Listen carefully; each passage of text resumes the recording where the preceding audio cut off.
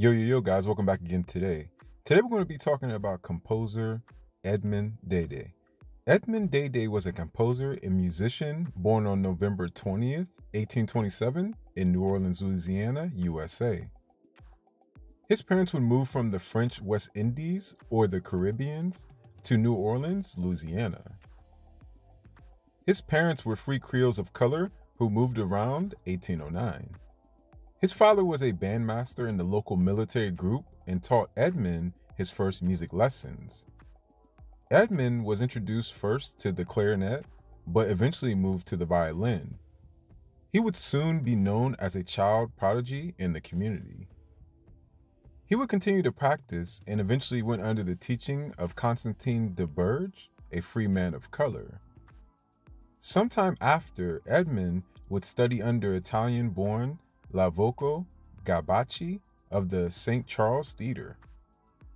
Edmond is thought to be one of the earliest publishers of music in the city and took theory class from French born Eugene Prévost and New York born black musician Charles Richard Lambert. Charles Lambert was also a conductor of the Philharmonic Society. Opera in the 17 and 1800s in America was looked at as pop music.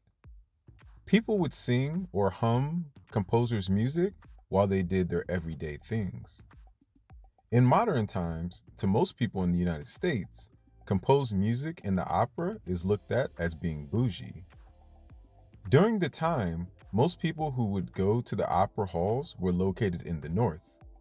New Orleans, on the other hand, was an exception. The first show that would be held in New Orleans was in 1796. After this show, shows would start to pop up all over the city. With heavy French influence in New Orleans, it is believed that French settlers brought their culture of French and Italian operas with them. In the mid 1800s, this would go to over 200 opera productions a year. It became so popular that some shows would open on the same night at the same time in New Orleans and in Paris, France. These houses would be open to every citizen, but were segregated. One area for servants, one for slaves, one for everyone else, and one for free people of color. The tickets for seats were one quarter for low seats and one dollar for the best seats.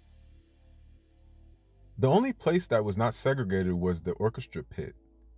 In this pit, you could find many trained black players from the Caribbean, the Americas, and Europe.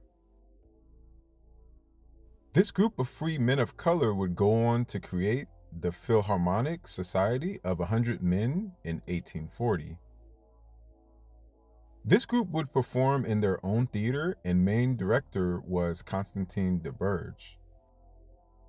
Due to racism and hostile conditions, he would leave for Mexico. At the age of 21 in 1848, he would arrive in Mexico.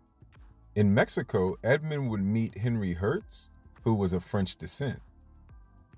Herz would speak of how blacks in Louisiana had good taste in music and love for music itself. It is believed that Herz would talk Edmond into applying for the Paris Conservatory.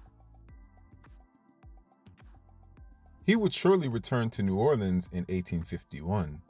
His musical piece would appear in a concert. The piece is known as Mon Pure Cure, which means My Pure Heart, and was found as the oldest sheet music by a man of color. Edmond would pick up work as a cigar maker to move to Europe. After saving enough money, he would move, though in 1864, his famous symphony, Quasimodo Symphony, was performed. His piece was performed by a fellow black musician named Samuel Snaer Jr., and he performed Edmond's piece in the New Orleans Theater. He would not be in attendance to see this, though. Edmond would go on to receive his education and served as the orchestra conductor at the Alcazar Theater in France for 28 years. Once he arrived in Belgium, Europe, he would make his way to Paris. He would enter the Paris Conservatory for advanced musical study. His audition would be a success and he was accepted. Was attending the Paris Conservatory as well at the time. He was also taught by famous French violinist and teacher Jean Alard. He then moved to different French cities. He would have his big success while touring. He would move to Bordeaux, France, and conducted for the Alcazar Orchestra. Good trade relations between Bordeaux and Louisiana led to a large number of free black people settling in Bordeaux, France. During his years in the city, he went on to become a very popular and prolific music composer. He also wrote operas, ballads, overtures, and over 250 songs and dances.